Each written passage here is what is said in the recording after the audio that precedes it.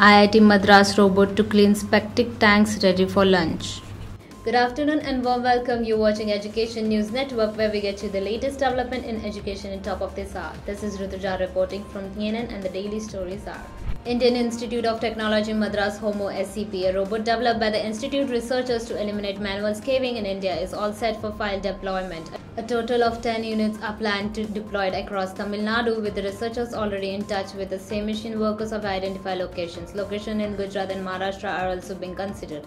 The robot has been developed over the last several years by a team led by Professor Prabhu Rajagopal Center for Nondestructive Evaluation IIT Madras and Faculty Department of Mechanical Engineering IIT Madras together with IIT Madras and gifted startup Solinas Integrity Private Limited. The team has been in close touch with sanitation workers. It's supported by the NGO Safai Karamchari Andolan dedicated to elimination of manual scavenging in India. At present, the first two HomoSEP units have been distributed to self-help group led by Ms. Nagamma and Ms. Ruth Mary, whose husbands died tragically during sanitation work. Through the support of the NGO SKA and the unique model being pioneered, IIT Madras is empowering entrepreneurs established by the self-help group whose key. Skate holders will be women impacted by the tragic consequences of manual scavenging. The task of further distribution of nine more units, several of which have already been fabricated as per the project plans is ongoing.